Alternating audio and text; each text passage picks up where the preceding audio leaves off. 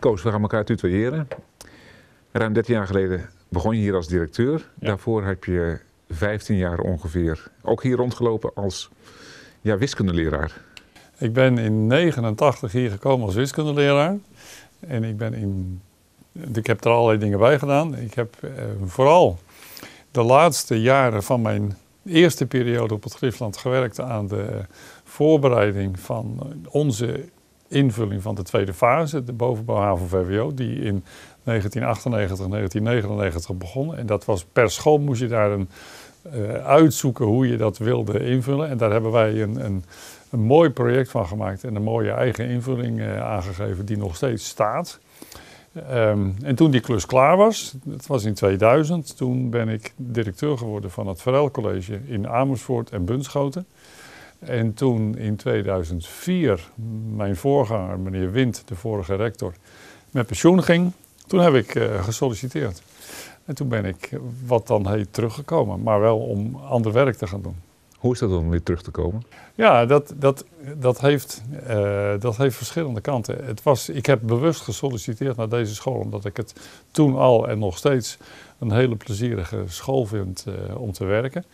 Met heel veel mooie dingen en daar wilde ik graag mijn, mijn uh, volgende bijdrage aan leveren. Um, dus heeft tussen mijn docentperiode en mijn rectoraat, er heeft een periode tussen gezeten dat ik zeg maar uit beeld was. Dat ik in Amersfoort op het Verhaal College uh, veel kon leren, uh, fouten kon maken. En toen ik solliciteerde, toen was ik een schoolleider met ervaring. En uh, toen kwam het, nou, ze vonden me interessant genoeg, dus ik ben benoemd. En dan kom je terug met, dan heb je met docenten te maken waar, je lang, waar ik lang collega van ben geweest. Precies. Maar met name denk ik door de, dat project van die invoering van die tweede fase hadden ze al wel uh, zoveel met me meegemaakt dat ze me ook wel gunden om die rol van rector uh, in te vullen. En natuurlijk heb je, zijn er momenten dat je als rector uh, verantwoordelijkheid hebt en moet nemen om, zwaar woord, ja, de baas te zijn.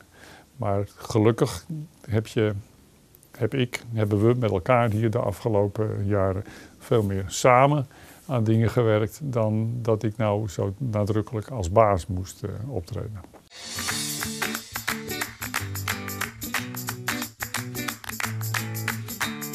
Het Griffland is voor mij betrouwbaar.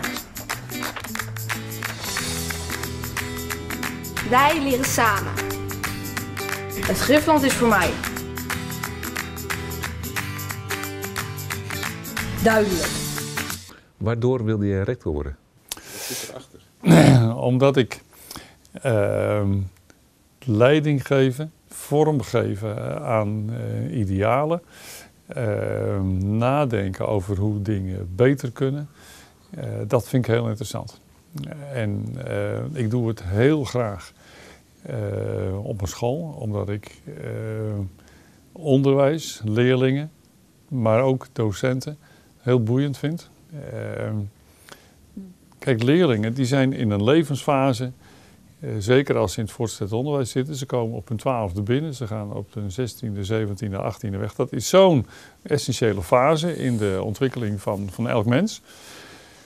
Dat, dat vind ik een hele boeiende periode en daar wil ik eh, graag bij zijn. En ik, ik vind dat het voortgezet onderwijs dus een, een, een misschien wel een, een hele scharnierfunctie heeft voor die leerlingen, voor die kinderen in die levensfase.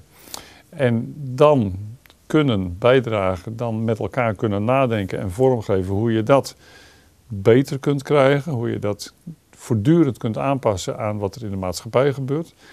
Ja, dat vind ik heel boeiend.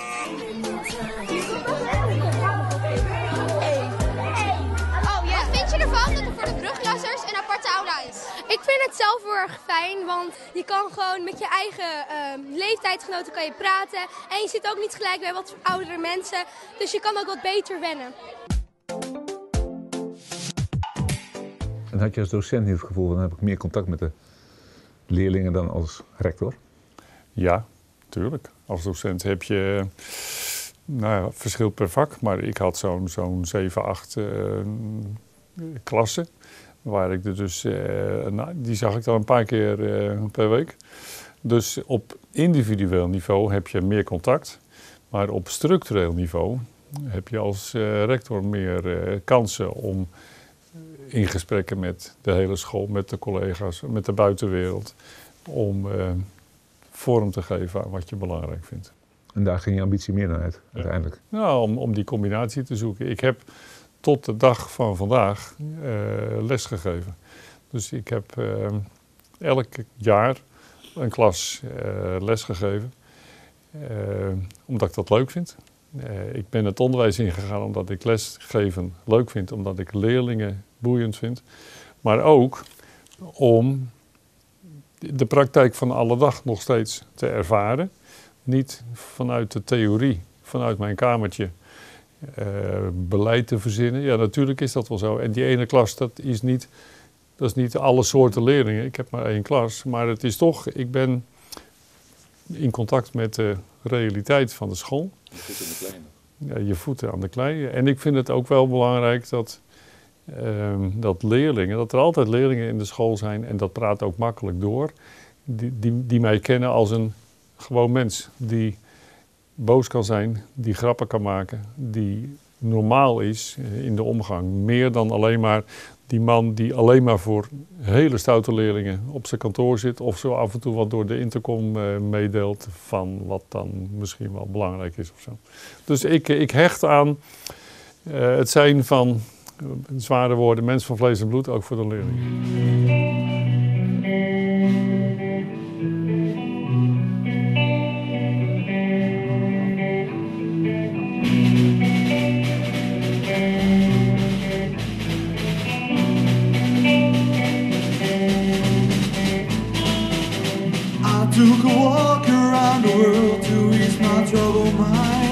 I left my body lying somewhere in the sands of time. I watched the world flow to the dark side of the moon. I knew there's nothing I can do.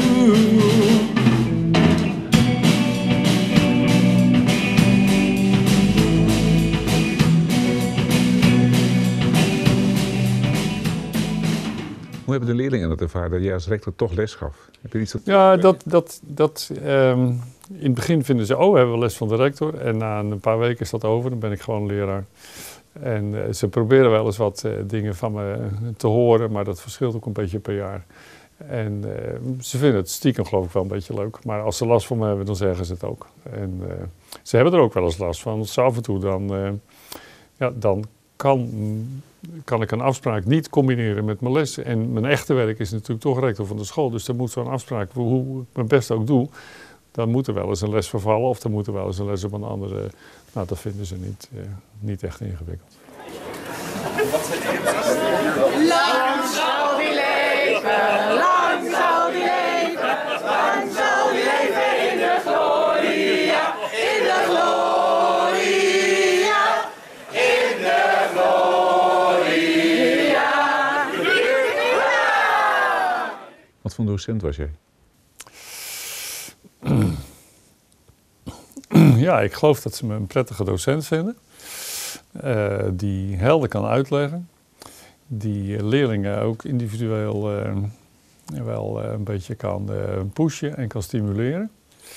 Het was ehm, afgelopen open dag, hè, dus zaterdag nu twee weken geleden. Ehm, ouders met hun kind uit groep 8 of groep 7 die kwamen kijken of het Griefland dan wat voor hun kind kan zijn. En ik sta dan bij de deur om mensen welkom te heten en de, de kinderen te vertellen van wat wij dan op zo'n open dag allemaal in de aanbieding hebben. En de laatste jaren kom ik natuurlijk steeds meer oud-leerlingen tegen die dan met hun kind uh, uh, dan komen kijken of voor hun kind deze school ook de goede school is. En afgelopen open dag dus kwam, ik een, kwam er een oud-leerling en die zat in 5 HAVO in mijn eerste jaar hier, 1989. En wij hadden nog eventjes dat contact over toen. Zij ging 5 HAVO in met een voor wiskunde heel uh, mistroostig beeld. Ze had er geen hoop op dat het wat goed zou worden. En door uh, stimuleren en vertrouwen geven en structuur eh, heeft zij een hele nette voldoende gehaald. En daar is ze nog steeds trots op. En eh, als we elkaar spreken, we komen elkaar wel eens vaker tegen, dan is dat altijd eventjes een ontmoeting van, weet je nog, van Ja, ja. wat mooi dat we dat toen voor elkaar gekregen hebben. Dus eh, ja, dat, dat vind ik heel leuk. Zijn dat de krenten uit de pap? Ehm, dat zijn krenten uit de pap, dat je ze eh, bij herhaling tegenkomt. Dat je dat dan steeds weer eventjes eh, scoort. Maar ik vind het ook wel ehm, gewoon ook business as usual. Dat je niet alleen maar goed structureert en goed de stof presenteert, maar dat je ook op individueel niveau de leerlingen stimuleert, vertrouwen geeft, eh, corrigeert waar nodig is, eh, tips geeft waar het beter kan. Eh, dus dat je terug hoort, dat vind ik krent uit de pap. Maar de inspanning, dat moet eigenlijk eh, gewoon zijn.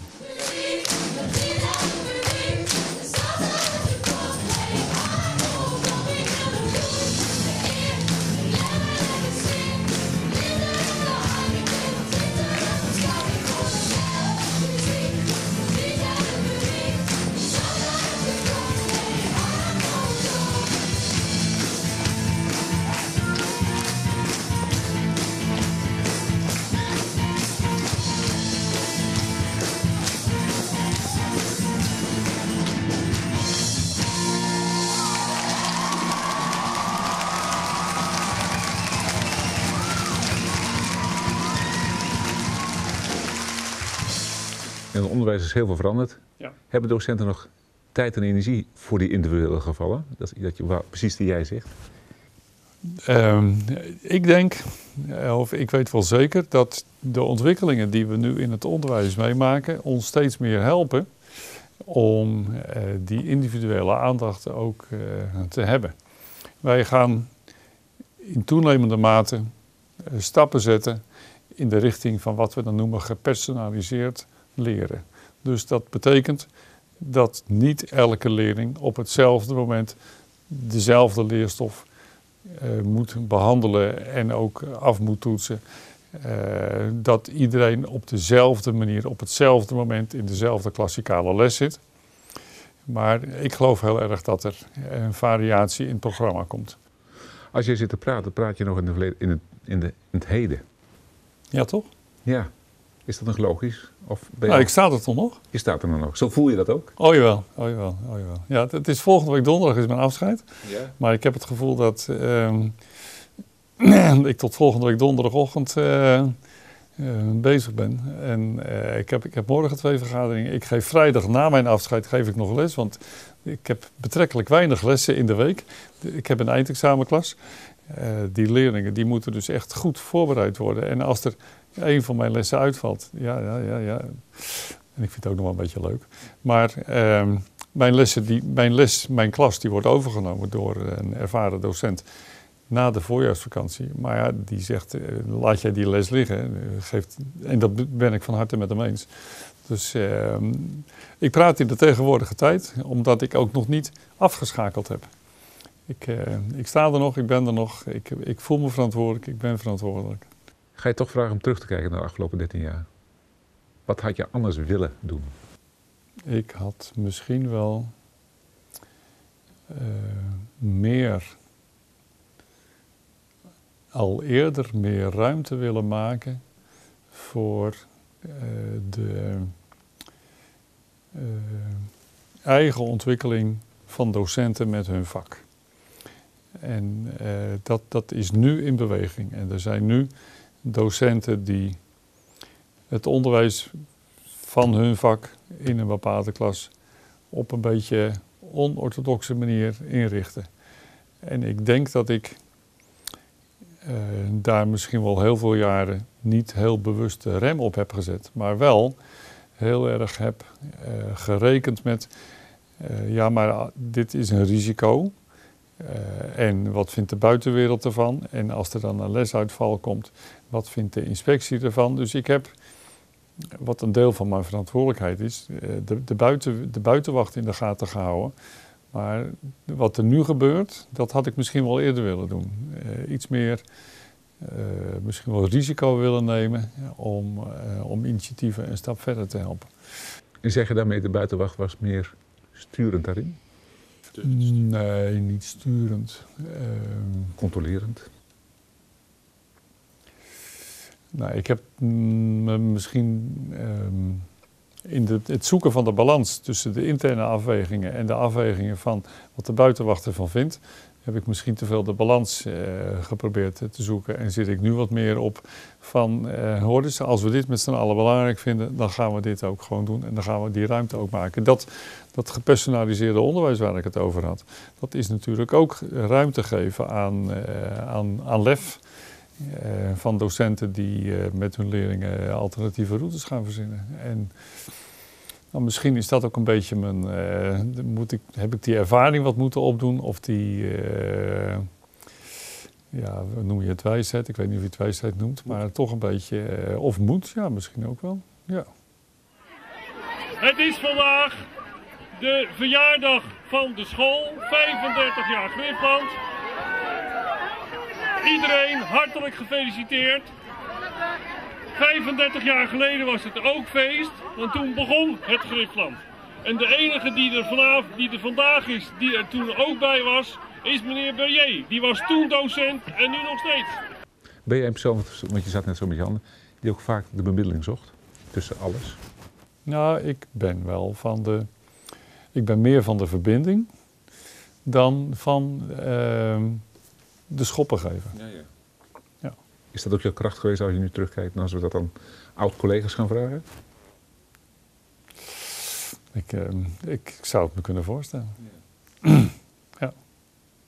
Het is daarom ook goed ehm, dat ik eh, na 13,5 jaar ehm, wegga. Ik, ik heb er de leeftijd voor, maar ik, had, ik, ik ben bepaald nog niet eh, uitge, uitgewerkt of zo.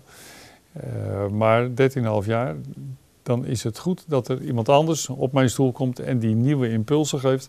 En misschien wel die balans anders gaat, eh, gaat, gaat invullen.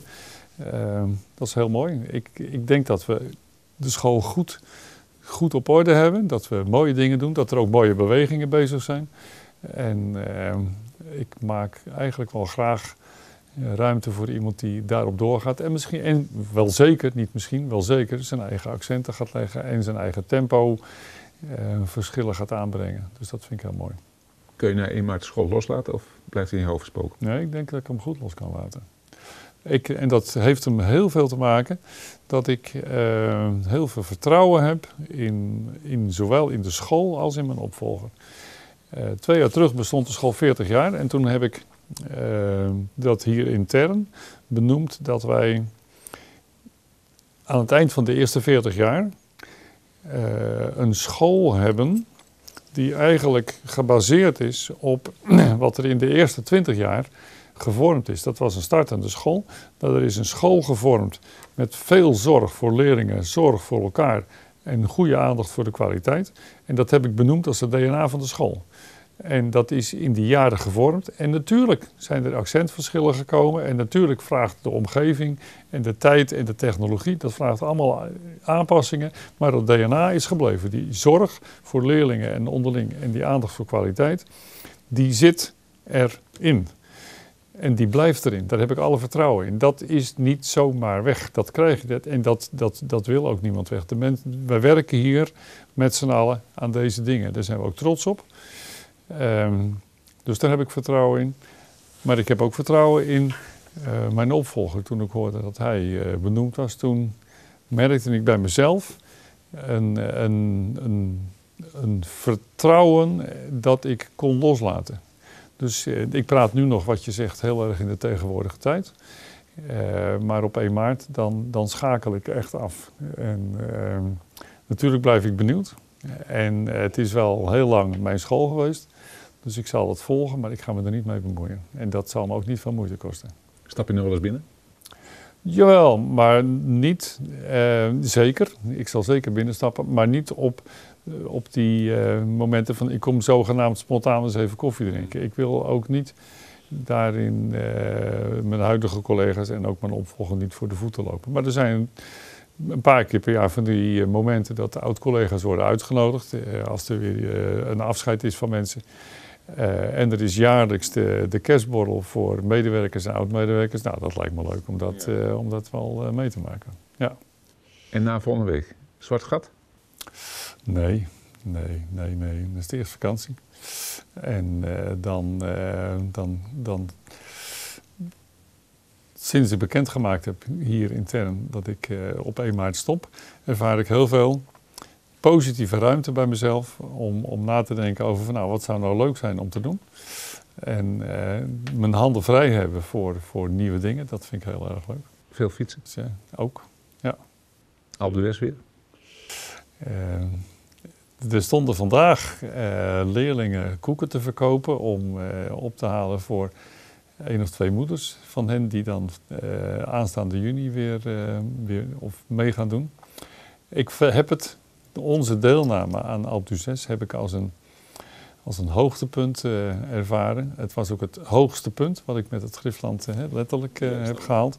Maar ook een hoogtepunt, want het was in meerdere opzichten zo'n geslaagd evenement. We hadden een club van twaalf leerlingen en vijf docenten, waar ik er dan één van was, waarmee we geoefend hebben, waarop we op training zijn geweest en waarop, waarmee we ook een week daar in de buurt van Alpe hebben gezeten. En uiteindelijk dus op die donderdag een heleboel keren op en neer hebben gefietst. Maar het was ook, en dat vind ik het belangrijkste van dit soort projecten, het was een project waar de hele school mee bezig was hoe ze geld konden ophalen voor mensen die steun nodig hebben.